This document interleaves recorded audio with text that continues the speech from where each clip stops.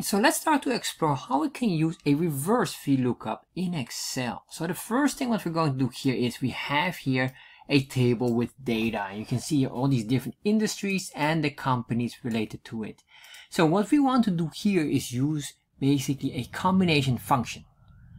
And that will be based on first the selected company we have here. So well, let's get one of these companies. Let's say I want to get Nestle. Nestle.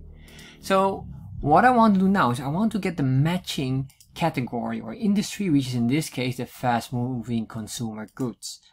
So how do I do this? Well, let's use the index function for that. And the index function can extract immediately the item. And of course, we're going to combine it later on with the match functionality. So we're going to select one of these, index, all right, just do that one, just click here on that. And then we open up here our formula tab. All right, so now we have the formula tab or builder open. So the first thing it will ask is what is the array of data? And in this case, the array of data is just a table here. And this table will be now the leading point for us. The next thing what I want to do here is where is the matching row number? In this case, because our table starts at number 2, so this is the first row. And our selected value for the company was Nestle, so it is on the second row of this table. So I'm going to say number 2, and then we can say here the column, and in this case for the column, I'm going to say column 1 because I want to grab the data here. So if I do this, you can already see here the category fast moving consumer goods. Let's do that.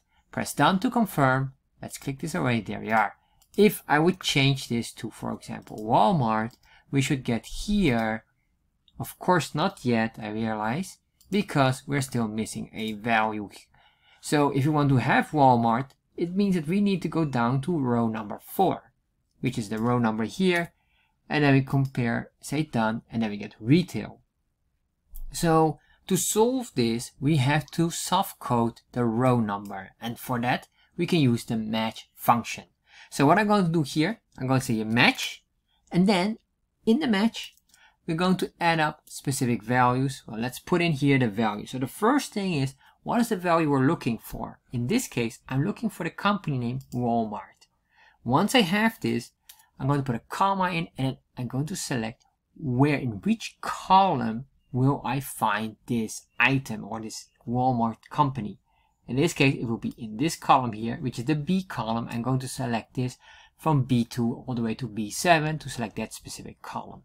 Once I did that, I put another comma, and then I can select here 0 or 1. In this case, I want the value of 0, because I want to have an exact match. You could have also another Walmart Industries or Starbucks Industries, something like that.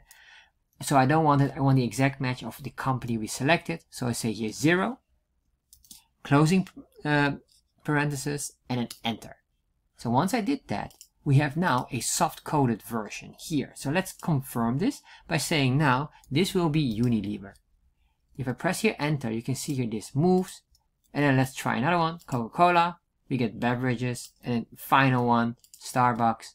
We get again beverages. And it is working nicely.